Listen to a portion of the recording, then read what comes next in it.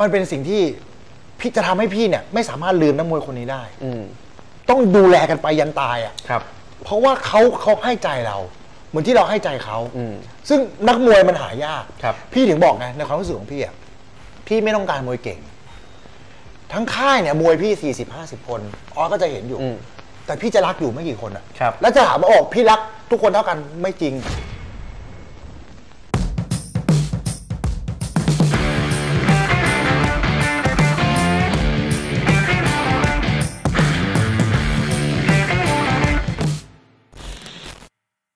สวัสดีครับ ขอต้อนรับเข้าสู่รายการยีดีแมนทอ l k ครับ EP นี้กลับมาพบกันอีกครั้งหนึ่งนะครับ กับเรื่องราวที่ทุกคนอยากรู้ แต่ไม่เคยได้รู้มาก่อน วันนี้ครับผมมีแขกรับเชิญหน้าตาใหม่สดเลยครับยังไม่เคยออกรายการเรา นี่คือน้องรักที่อยู่ด้วยกันมาเป็นทั้งแฟนพันธ์แท้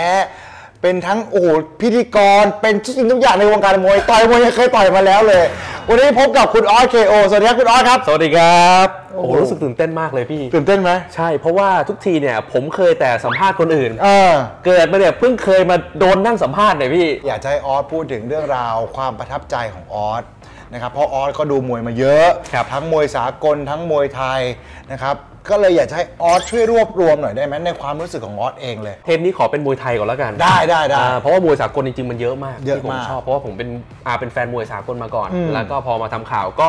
ก็หันมาดูมวยไทยมากขึ้นอืมแล้วก็มาศึกษามาลงรายละเอียดทุกสิ่งทุกอย่างอืมนะครับ อาผมอยู่ในวงการมวยไทยมาเนี่ยตั้งแต่วันแรกจนถึงวันนี้เนี่ยน่าจะเข้าปีที่ 11 ได้ ใกล้เคียงกับพี่โบ๊ทพี่โบ๊ทคือเข้ามาที่เป็นโปรโมเตอร์นะอ่าอ่าอ่านะครับใกล้เคียงกันครับ นะครับผมก็ดูมวยที่เวทีมาเนี่ยก็มั่นใจว่าก็ก็เกือบทุกวันนะสมัยก่อนมันจะมีมวย 7 วันเลยนะพี่ใช่เจ็ดอ่าวันสมัยก่อนที่โควิดจะระบาดเขาจะแบ่งเป็นลูปินีราชดำเนินเสาร์อาทิตย์ก็จะเป็นมวยตู้มวยทีวีใช่ครับอ่าประก็มาณนี้ ดูทุกวันเลยนะครัครับบอ่าห้าไฟท์ที่ผมประทับใจเนี่ย ผมขอ เลือกที่ผมดูในเวทีแล้วกันอ่าดูกับตาตัวเอง ดูกับตาอยู่ในเวทีอยู่ข้างเวทีอ่า เอาเราไม่ไม่ไปรวมที่แบบนั่งดูทีวีอยู่ไม่เอา อืม ไม่เรียงนะว่า ไฟท์นี้เกิดก่อนไฟท์นี้เกิดหลังไม่เรียง เอาตามความรู้สึกเลย อ่าตามความรู้สึกครับไฟท์แรกเนี่ยที่ผมรู้สึกว่าดูแล้วชอบแล้วก็ประทับใจที่สุด แล้วผมก็เป็นผู้บรรยายด้วย เสกสรรกับธนนชัย ไฟท์นี้ผมประทับใจมาก ๆ เลย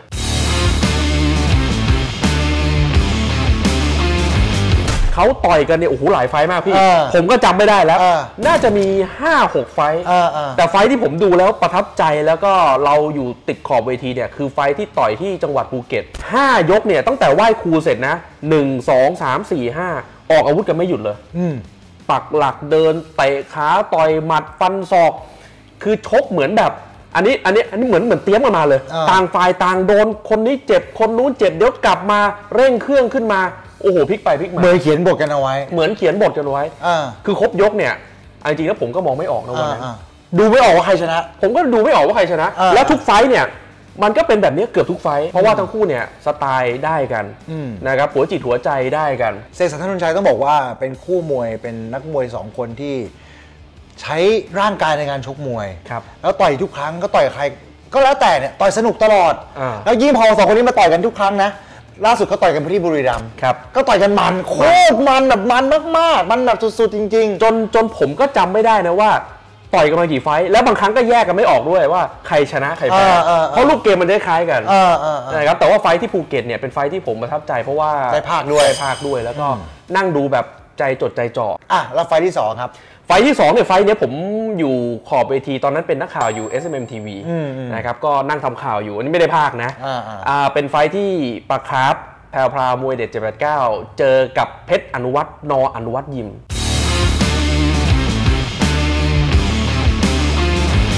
ต่อยหลายครั้ง ต่อยน่าจะ2ครั้งแต่ที่ผมดูแล้วประทับใจน่าจะเป็นไฟท์แรกอ่าอ่าวันนั้น ถ้าจำไม่ผิดเนี่ยเหมือนมีเข็มขัดราชดำเนินเนี่ยเป็นเดิมพันด้วย รุ่นร้อยแปดปอนด์ตอนนั้นร้อยแปดร้อยแปดปอนด์ร้อยแปดปอนด์คือรูปเกมเนี่ย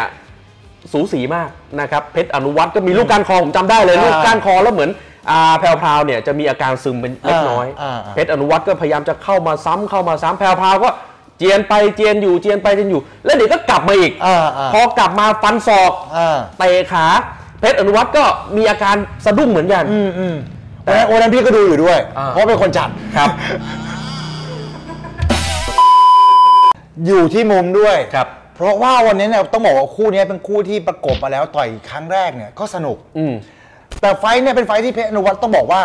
มีอาวุธลับอ่าครับอก้านคอก้านคอแพรวพราวนี่โดนเลยนะจำภาพได้เลยนะว่า เมาเอ็นไปเมาเอ็นมาแบบนี้เลยนะครับแล้วก็แบบเหมือนกับตุ๊กตาล้มลุกอะมึงเออออย่างงี้ปุ๊บปุ๊บแล้วพอสู้ตัวปุ๊บก็เดินต่อสงสัยหางตาเหลือบไปมองเห็นโปรโมเตอร์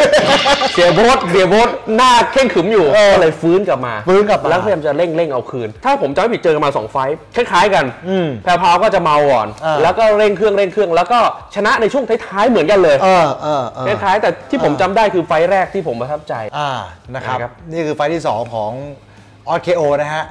แพรวพราวกับเพชรอนุวัตร ไฟท์ที่ 3 เนี่ย ข้ามมาที่ลุมพินีบ้าง อืม ตอนนั้นนี่น่าจะเป็นศึกลุมพินีแชมเปี้ยนเกริกไกรอืมแต่กับไฟท์นี้ก็ประทับใจเพพราะระว่ารามสี่หรือว่ารามอินทราอ่รามินทราละรามอินทรารามอินทรานะครับตอนนั้นโปรโมเตอร์ชุ้นเกียรติเพชรจัดนะครับอืมก็เป็นกุหลาบดำอืมสจเปี๊ยกอุทัยตอนนั้นก็เป็นยอดมวยอืม นะครับเจอกับเมืองไทยพีเคแสนชัย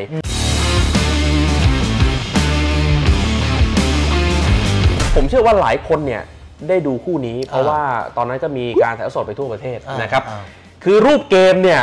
ต่างคนต่างเมาเหมือนกันอืมคือมวยจะสนุกจะเร้าใจเนี่ยจะเป็นฝ่ายหนึ่งฝ่ายใดย้ำไม่ได้อืมจะต้องผัดกันทำแล้วก็มีอาการซึมมีอาการเมาอืมแล้วคู่นี้ก็เป็นหนึ่งในนั้นที่ที่ผมดูว่าต่างคนต่างก็เจียนไปเจียนอยู่ เออเออเออถ้าผมจำไม่ผิดเนี่ยนะกุหลาบดำเนี่ยจะเมาก่อนเออเพราะว่าโดนศอกอืมอืมปักสาวแหวกลังเออน้ำหมิงบอกปักสาวแหวกลังอ่าอ่านนะครับก็เมาไปเมามา แต่พอจับจุดได้ กุหลาบดำฟื้นต่อยหมัด วันนั้นเนี่ยเมืองไทยก็เซเหมือนกัน กุหลาบดำเป็นมวยครับที่มีอาวุธรุนแรงก็คือหมัดซ้ายหมัดซ้ายต่อยหนักต่อยแต่แรเมืองงต่อยแรงเมืองไทยอาวุธก็คือศอกศอก คือมีคนละอย่างอ่า คนหนึ่งได้หมัด อีกคนหนึครับได้ศอก แล้วอยู่ในช่วงที่ทั้งคู่เนี่ย ผมว่าฟอร์มมันใกล้เคียงกัน อ่าอ่าอ่าเมืองไทยก็อาจจะ drop ลงมาเล็กน้อยอ่า กุหลาบดำนี่ก็สดขึ้นมาอ่าอ่าอ่า นะ ต่างฝ่ายต่างก็โอ้โหออกอาวุธใส่กันไม่หยุดเลย4ี่ห้านี่ คือปักหลัก บวกหมัดบวกศอกกันอืมแต่สุดท้ายเนี่ยไม่มีผู้ชนะอ่าเพราะว่าเสมอกันก็คู่ขี้มากคู่ขี้คู่ขี้ผมก็มองไม่ออกนะอ่าอ่าอ่าวันนั้นเนี่ยก็ก็ต้องให้เครดิตกรรมการกรรมการก็ยังมองไม่ออกเลยก็ครับเสมอกันก็เป็นอีกหนึ่งไฟท์ที่ผมประทับใจสามไฟท์ที่ออสพูดมาเนี่ยออสความมันของออสที่ครับออสยังประทับใจแต่ละคู่เนี่ยพี่ว่ามันมาจากความที่แลกกันไปแลกกันใช่มา คือไม่ครับไม่ใช่ว่าประเภทไม่มีไม่มีหนีติดชึ่งไม่มีไม่มีครับ ประทับใจประเภทที่แบบบวกกันแลกกัน บวกกันเลย แลกกันแล้วก็แบบมึงทีกูทีมึงได้ยกนี้มึงได้ยกนี้กูได้อะไรแบบนี้ใช่ไหม ผมเชื่อว่าแฟนมวยส่วนใหญ่เนี่ยความรู้สึกเหมือนผม อ่าส่วนใหญ่เขาจะชอบมวยแบบนี้ใช่ใช่ร้อยละ80ร้อยละอืม90 เพราะว่าผมเนี่ยก็คือแฟนมวยมาก่อน อ่าอ่าอ่า ไม่ไม่ใช่ว่าพอพอมาทำข่าวแล้วคือเป็นเป็นเป็นเป็นคนชอบมวยไม่ใช่นะ ผมอืมชอบมวยมาก่อน ผมจะทำข่าวอีก แล้วพื้นเพของออสจริง ๆ แล้วเนี่ยออสชอบมวยประเภทแบบไหนแบบว่ามวยหมัดมวยเข่ามวยอะไรเมื่อก่อนชอบมวยหมัด เมื่อก่อนชอบมวยหมัดเมื่อก่อนชอบมวยหมัดเขามาจากมวยสากลอ่าใช่เมื่อก่อนผมพอดูมวยสากลแล้วเนี่ยผมก็อยากจะอยากให้มวยไทยเก่งๆที่ใช้หมัดดีๆเนี่ยมาชกมวยสากลเมื่อก่อนเนี่ยผมติดตามอนุวัฒน์แก้วสมนิดไงอ๋ออ่ามวยหมัดพอพอเขามีข่าวว่าจะมาต่อยมวยสากลเนี่ยเราก็ติดตามติดตามอืมอืมแต่ก็คือเหมือนไม่ไม่อะตอนนั้นยังไม่มีคนสนับสนุนอย่างเป็นทางการอืมอืมก็เลย อาจจะไม่ได้มาเป็นแชมป์โลกอะไร ช่วงที่อนุวัฒน์ดัง ๆ ตอนนั้นต้องบอกว่าเป็นช่วงเวลาที่วงการมวยไทยเจริญรุ่งเรืองมากนะครับจัดกี่ครั้งเอออะไรก็แล้ว แต่อนุวัฒน์ต่อยก็ต้องมีล้าน8ล้าน9 2 ล้านอย่างเงี้ยอืมค่าค่าตั๋วนะครับแล้วก็ต่อยทีไรนี่คนฮืออาคือยังไงรู้ไหมพี่ยังจำภาพเหตุการณ์ได้เลย อนุวัฒน์ต่อยสิงห์ดำเนี่ย มวยยังไม่ทันจะไหว้ครูเลย เล่นกันแล้ว คนฮือแล้วอ่า ฮือเล่นกันต่อกันคือแบบภาพแบบเนี้ยมันอยากให้เกิดขึ้นอีกครับครั้งหนึ่งในวงการหายากมากนะหายากอ่าหายากอะครับสามไฟท์แล้วสำหรับครับ ออส KO นะฮะเป็นสามไฟท์ที่ผมเชื่อว่าหลายๆคนก็คงจะได้ดูผ่านสายตากันมาแหละนะครับเพราะเป็นไฟท์ที่มันทั้งสามไฟท์เลยครับ ไฟท์ที่สี่ครับ ไฟท์นี้เนี่ย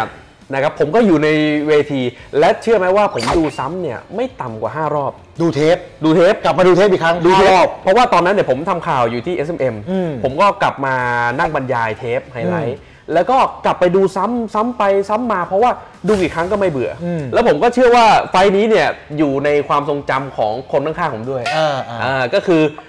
สถานเมืองเล็กกับเพชรสมหมาย เออ คู่นี้มันประทับใจประทับใจ มันสดจริง ๆ นะ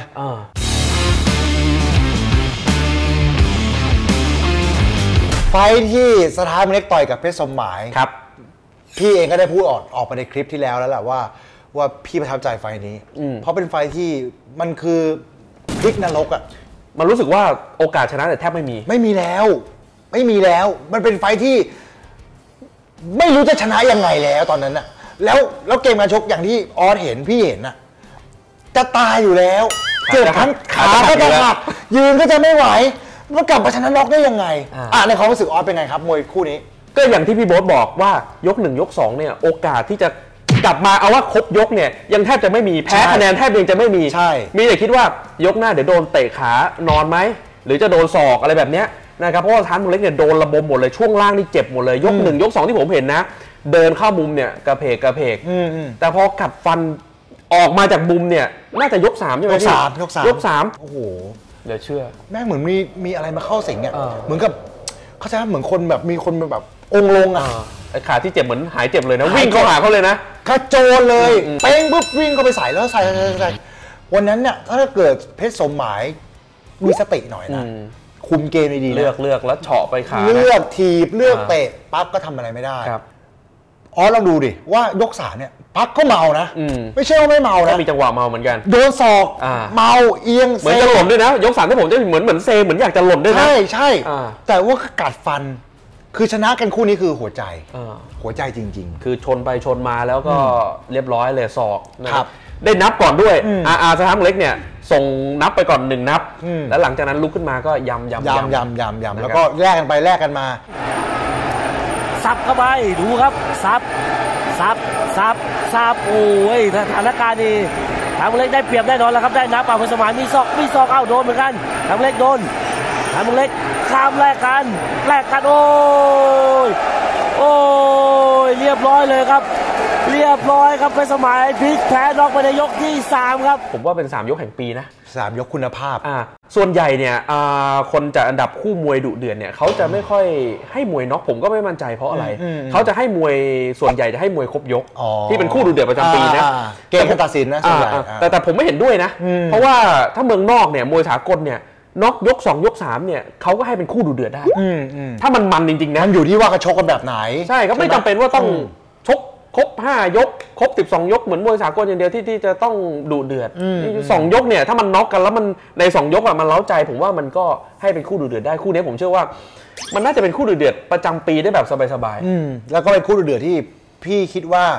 ในชีวิตของพี่นะตั้งแต่ดูมวยมาทำมวยมาๆครับ พี่ก็ไม่เคยเห็นคู่ไหนที่มันที่มันมันเท่านี้แล้วอะอืมมันคือแบบโอ้โหแบบมันยิ่งกว่าแบบ ยิ่งกว่าดูละครอะอ่าเอางี้ดีกว่าแล้วคือตอนนั้นหลังเกมเนี่ย คือพี่โบ๊ทรู้สึกยังไงตอนนั้น หรือแบบมันดีใจที่สุดในชีวิตเลย มันดีใจ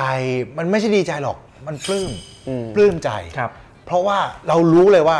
ไฟท์นี้ที่เขายอมกัดฟันสู้เนี่ยเพื่อเราอ่าครับ คือถ้าเกิดไม่มีเรายืนตรงนั้นเนี่ย พี่ว่าโดนน็อกไปแล้วอืมมันสุดจริงๆนะแล้วผมเห็นกระทั่งนะตอนพี่โบ๊ทสัมภาษณ์หลังเกมน้ำตาไหลเออใช่ไหมผมจำรายละเอียดนี่นี่แต่มันแท้เออนี่แต่มันแท้น้ำตาไหลจริงๆใช่ไหมใช่ไหมใช่ใช่ใช่ใช่อยู่แบ็คดรอปหลังเวทีอะ ไม่มีอะไรจะพูดเลยแบบนี้คือมันยิ่งกว่าพอใจมันคือความสุขของผมอย่างที่ผมเห็นแบบเด็กออกไปแล้วสู้เพื่อเราอะไรเงี้ยครับประทับใจประทับใจประทับใจจริงๆนี่นี่ปราบปลื้มเลยนะนี่ดูตื้ตัน้ำน้ำน้ำตาจะไหลเลยครับใช่ตื้นตาตื้นตันเพราะว่าเรารู้ว่าเขาเมาด้วยเขาเจ็บขาด้วย อาการจริงๆแล้วแพ้น็อกได้เลย ถ้าดูถ้าดูตามภาพผมไม่รู้จะชนะยังไงแล้วอะอย่างนี้ดีกว่าออกไปแล้วผมยังงงว่าพ่อก็ถามลงมาว่ามันเป็นอะไรอยู่ดีมันเจ็บเพราะอะไรแล้วอยู่ดีก็ออกมายกสามก็เป็นคนละคนเลยครับก็แค่คำพูดคำพูดเดียวว่า อย่าให้เสียชื่อนะ อย่าให้เสียชื่อนะสู้นะแค่นั้นเองครับไม่ได้พูดอะไรมากกว่านี้อย่าให้เสียชื่อจะทำเมืองเล็กนะมันเป็นสิ่งที่พี่จะทำให้พี่เนี่ยไม่สามารถลืมนักมวยคนนี้ได้ อืมต้องดูแลกันไปยันตายอะครับ เพราะว่าเขาเขาให้ใจเรา เหมือนที่เราให้ใจเขาอืมซึ่งนักมวยมันหายากครับพี่ถึงบอกไงในความรู้สึกของพี่อะพี่ไม่ต้องการมวยเก่ง ทั้งค่ายเนี่ยมวยพี่40 50คนออสก็จะเห็นอยู่อืมแต่พี่จะรักอยู่ไม่กี่คนอะครับแล้วจะถามว่าโอ้พี่รักทุกคนเท่ากันไม่จริง เพราะว่าคนที่รักจริง ๆ แล้วมันต้องคนที่เขาทำอะไรเพื่อเราถูกไหมครับ เดาได้เลย อืมก็ต้องมีแพรวครับๆมีสถานเมืองเล็กสองคนนี้อ่า ที่พี่รู้สึกว่าไม่ใช่มวยเก่งเลย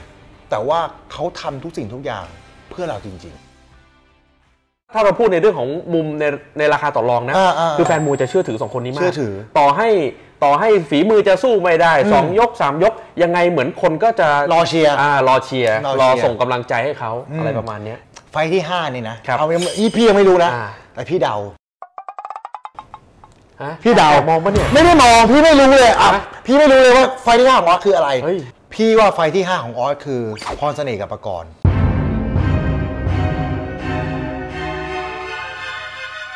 คือคู่นี้เนี่ยเออผมไม่ได้ดูสด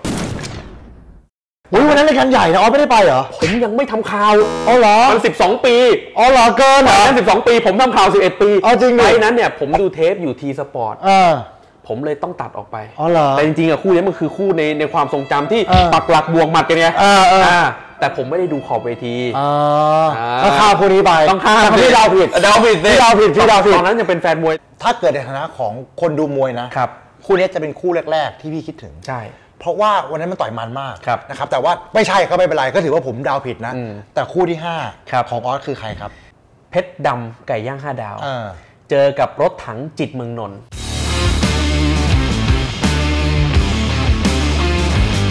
อ้โหไฟแรกไฟแรกไฟแรกนะไฟแรกไฟแรกไฟแรกไฟแรกไฟแรกคือไฟไฟสองเนี่ยผมดูว่าเพชรดำเหมือนเหมือนเริ่มจะกรอบอ่าอ่าอ่าเพราะว่าโอ้โหรถถังต่อยแล้วมีต่อยไฟแรกเนี่ยมันต่างฝ่ายต่างทำไงอืมเพชรดำหัวดปั้งรถถังกระเด็นอ่ารถถังต่อยลำตัวเพชรดำสะดุ้งอ่าอ่าอ่าเจียนไปเจียนอยู่ทั้งคู่ คือมวยในความทรงจำของผมเนี่ยมันจะต้องเจียนไปเจียนอยู่ทั้งคู่อ่าอ่าในความรู้สึกนะยคือต้องดูได้ออกว่าเอใครอดีกว่าแดงจะโดนน็อกแล้วเอออีอีกแป๊บหนึ่งแดงฟื้นน้ำเงินจะโดนน็อกบ้างอื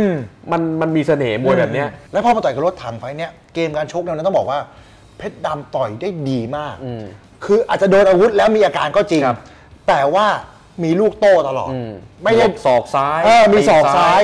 ตีนซ้าย แล้วเวลาเตะซ้ายแล้วมันเห็นชัดอ่าไฟท์เนี้เป็นไฟท์ที่รถถังเพิ่งกลับเข้ามากรุงเทพครับนะครับไฟท์แรกเนี่ยรถถังกลับมามาต่อยกับไข่มุกขาวอืมแล้วไข่มุกขาวเอาชนะได้ครับแต่พิกัดน้ำหนักเนี่ยคือเขาปล่อยเวทขึ้นมา จริงๆแล้วเนี่ย รถถังเขาต่อย 127 ได้อืมตอนนั้นตอนนั้นครับแต่ว่าเขาปล่อยมาต่อยกับอ่ารถอ่าไข่มุกขาวเนี่ยร้อยสามสิบเอ็ดอืมเขาก็ดูว่าเขาตัวเล็กครับพี่อ้วนก็ถามว่าพี่อ้วนตอนนั้นยังมีชีวิตอยู่นะครับพี่อ้วนเมืองนนท์เนี่ยก็ถามว่าเฮ้ยไฟต์ต่อไปหาคู่ใหม่ดีกว่า เพราะว่าน้ำหนักเขาน้อยอะไรเงี้ยตอนนั้นเพชรดำอยู่ต่อยอยู่ถ้าพี่จำไม่ผิดนะร้อยยี่สิบสี่ก็เลยเอาเอาเพชรดำไปเลยอืมปล่อยน้ำหนักขึ้นไป เจอคนครึ่งทางร้อยยี่สิบเจ็ดปอนด์อ๋อตอนนั้นเนี่ยรถถังก็ ตึงที่ 127 ใช่ แต่เพชรดำเนี่ยเล็กกว่าหน่อยร้อยยี่สิบสี่อ่า แล้วปล่อยเวทขึ้น ก็เลยปล่อยเวทขึ้นไปต่อยกับครรับถถังร้อยยี่สิบเจ็ดปอนด์ ซึ่งวันนั้นเนี่ยพ่อพี่เนี่ยก่อนชกอะมั่นใจเพชรดำมาก อืม พี่ยังถามพ่อเลยนะสู้ได้เหรอออืมเพราะว่าเราตัวเล็กนะครับเราไม่เคยต่อยเวทใหญ่ขนาดนี้ อ่าพอเราขึ้นไป 3 ปอนด์เนี่ยเราต้องคิดแล้วว่า 124ไป127 เนี่ยแรงปะทะเนี่ยเราไปลองเขาแล้วครับ พ่อบอกว่ามึงไปเล่นเลยทีอืเด็ดมอืมพ่อพูดแบบนี้นะ มั่นใจว่าเพชรดมึำงเอาอยู่ มึงไปเล่นเลยทีเด็ด ฟอร์มเพชรดำเป็นไงพี่ตอนนั้น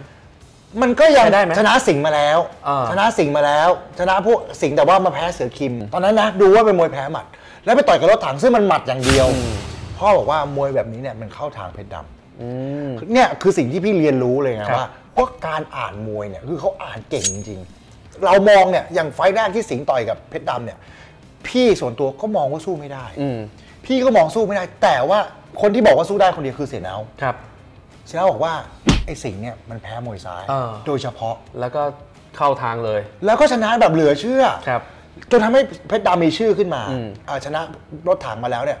ฟอร์มของเพชรดำมันก็ยังไม่กลับมา อ่า ก็ไม่รู้ว่าเป็นเพราะความมั่นใจหรือเป็นเพราะอะไรเหมือนกัน ครับ น่าจะมาจากไฟท์ที่คือเขากำศึกมาหนักหลายใช่ไฟท์ใช่ใช่ทั้งรถถังทั้งเสือคิม อืมเดี๋ยวสองคนเนี้ยเป็นทำเป็นเป็นนักมวยที่ทำให้ผมผมคิดนะว่าเพชรดำเนี่ยกรอบจนถึงทุกวันนี้ ใช่ใช่มีส่วนเพราะว่าเขาเขาแกว่งตั้งแต่ไฟท์เสือคิมละ เสือคิมวันนั้นก็เจ็บหนักอ่า วันนั้นเนี่ยเสือคิมถ้าเกิดจำภาพได้นะพี่โดนดราม่าเลยครับเสิร์ฟเสิร์ฟเสิร์ฟที่ใช่ไหม วันนั้นอะวันนั้นที่ดังกว่าเสือคิมนะครับมันมีภาพเลย พี่รู้แล้วมันจะไม่สู้แล้วมันยอมไปแล้วมันกลัวแล้ว จังหวะพอดีไอ้โดนต่อยปากฟันยางหลุดกระเด็นออกมาวันนั้นก็ทำนานเลิกหลักเลิกหลักเดินมาเดินมาที่มุมปกติแล้วหน้าที่นี้คือหน้าที่ของเทรนเนอร์ครับ ที่ต้องเอาฟันยางเนี่ยเขาต้องล้างแล้วเอาไปใส่ปากใหม่อะอืมพี่หยิบฟันยางขึ้นมาแล้วพี่ก็ล้างเสร็จปุ๊บอืมแล้วพี่ก็มองหน้าเพชรดำตบหัวพัวอ่าแล้วใส่ปากเข้าไปมึงสู้เขาดิ อ่าอ๋อ นี่คือคำพูดจากปากพี่โบ๊ทวันนั้น พูดคำนี้เลย อ่า มึงสู้เขาดิ ถล่มหน้าโอ้ยโอ้ยโอ้ยโอ้ยโอ้ยโอ้ยเรียบร้อยโดนใช้ไปแล้วนะครับอ้าวกรรมการว่าไงเนี่ย ยางกันฟันหลุดโอ้คุณจะไม่เท้ายยางกันฟันยางกันฟันหลุดหยุดก่อนหยุดก่อนโอ้ ต้องล้างก่อนล้างยางกันฟันก่อนครับ โดนต่อยหมัดแม่ยางกันฟันหลุดเลยครับสู้กันดิไปดิเร็วปุ๊บ มันออกไปเป็นคนคนละคนนะ อ่า ตอนนั้นจะโดนน็อกอยู่แล้วนะครับ ก่อนที่จะใส่ฟันยางอะอืมจะโดนน็อกเลยนะ อืม ปลายยกกลับมาเร่งเร่งปุ๊บกลับมาคู่ขี้อ่า แล้วจริงๆวันนั้นที่ต่อยกับเสือกิมต้องชนะแล้ว ครับเพราะสี่ยกเนี่ยชนะไปแล้ว อืมยกห้าออกมาดันถอยอืม นั่นแหละ เลยเฮไปเฮมา โอ้โหนี่นี่นี่มันได้เกินห้าคู่แล้วไปมามันกลายเป็นเพชรดำเสือคิมได้ไงวะครับนะ ก็คือเพชรดำรถถังที่ผมชอบนะอ่าใช่ไฟล์แรกใช่ใช่นะครับใช่เป็นเป็นเป็นช่วงที่น่าจะพีคที่สุดของเพชรดำนะ พีคพีคพีคอ่าในช่วงช่วงนั้นเป็นช่วงที่ คนก็อยากดูเพชรดำโชคเยอะนะคครัรับบหลังๆก็เป็นมวย entertain ไปเน้นเต้นเน้นเน้นทำผมเน้นทำเน้นผมผมเน้นผมก็เน้นเต้นสองอย่าง วันนี้นะครับกับ 5 ไฟท์ในความทรงจำของออส KO นะครับแฟนพันธุ์แท้อ่านี่คือเรื่องราวของมวยไทยนะ เดี๋ยวคราวหน้ามาให้ออสมาใหม่ มาเกี่ยวกับเรื่องราวมวยสากลบ้างครับ คือผมมั่นใจเลยนะ ในประเทศไทยนะผมผมอ่าผมท้าเลยนะอ่าในประเทศไทยเนี่ยคนที่ดูมวยสากลเยอะที่สุดเนี่ย เอาห้าอันดับผมติดหนึ่งในห้าเอาแค่นี้ดีกว่า top five เหรออะผมมั่นใจว่าผมติดหนึ่งในห้าเพราะอะไรถึงถึงคิดว่าเราดูเยอะที่สุด สมัยก่อนเนี่ยเขาจะไม่มี YouTube กัน อ่า เวลาใครมีไฟท์ดีๆเนี่ยเขาก็จะเอาไปลงในโหลด bit อ่าอ่าเว็บ bit อะอ่าอ่าแล้วก็โหลดไปโหลดมามาไลฟ์คนนี้ write อ่า write กัน write มาแลกกันคนนี้มีเอ้ยมีมีเทปมีอันนี้เราก็ไปแลกกัน ผมมีซีดีกับ DVD ที่บ้านนะมวยสากลนะอืม800 กว่าแผ่น800 กว่าแผ่น